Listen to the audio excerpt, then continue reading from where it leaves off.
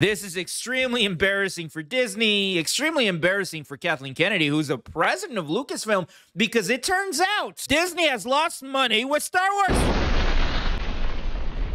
Disney has lost money with Star Wars. They have not made their money back. And here is the Park Place Disney Star Wars movies have not recouped the cost of purchasing Lucasfilm. Now, basically, what this means, and I'm going to speak very plainly because I know there's going to be a lot of Rey fans a lot of sequel fans in my comment section, you know, and these people are not that smart.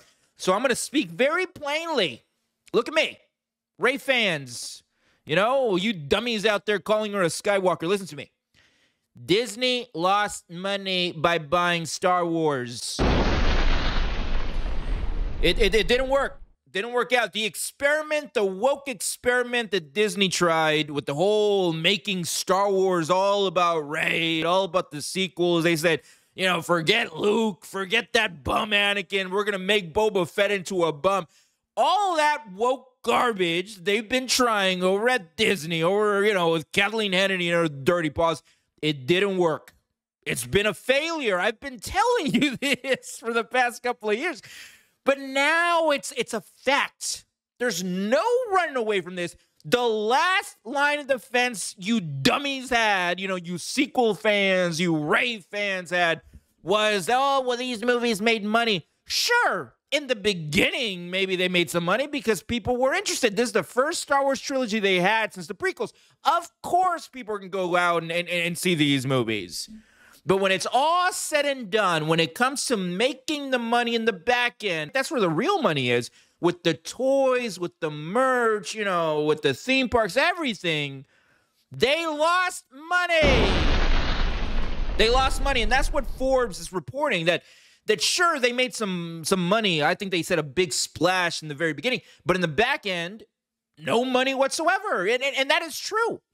You know, the other day I was I was at a Walmart and and I couldn't help but see that they had a bunch of Reva toys, you know, on for 75% off in the clearance aisle.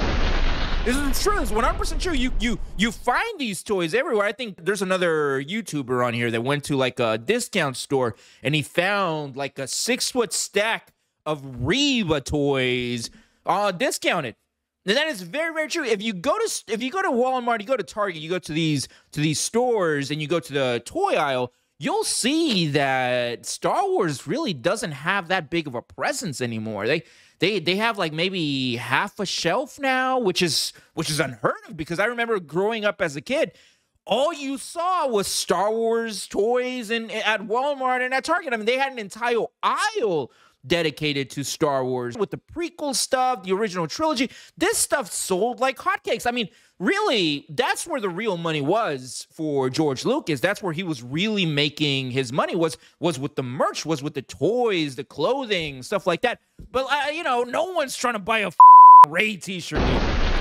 Nobody, nobody's trying to buy a uh, you know a, a Reva costume for Halloween. You know, no one's trying to buy this garbage. So so now that you have been exposed, Disney, Kathleen Kennedy, look at me.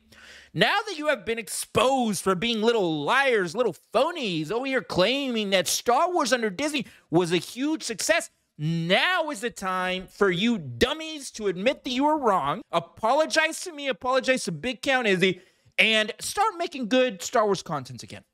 That's all I'm saying. That's that's all I'm saying. And and while you're at it, apologize to Star Wars Theory because that guy has a broken heart. I've been watching his videos and that guy just does not look good. They really need to check on Star Wars Theory. But anyway, that's all I wanted to say. I just wanted to say that I was right because there's nothing more that I love than proving to you dummies in my comment section that I was right. Your one defense the one defense on Twitter, you know, all these people, oh, the Rise of Skywalker made a billion, blah, blah, blah, blah, blah.